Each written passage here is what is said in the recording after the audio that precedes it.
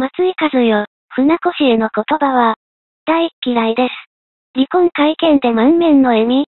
俳優、船越英一郎、57、との調停離婚が、成立したタレントの松井和代、60、が、15日、都内で会見。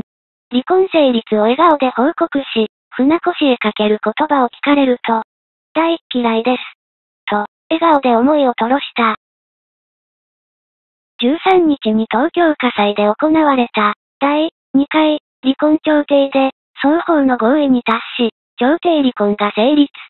すがすがしい表情で笑顔が、止まらない様子の松井は、私の未来の扉が、ぐわーっと開きました。嬉しいです。と、大きなジェスチャーを交えながら、何度も、本当に嬉しい。と、繰り返した。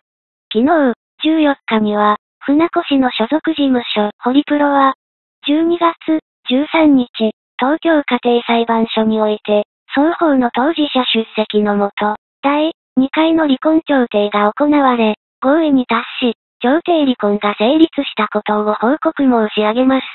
と発表。調停の詳しい内容は、お話しできません。とした上で、慰謝料、財産分与はありません。と、伝えている。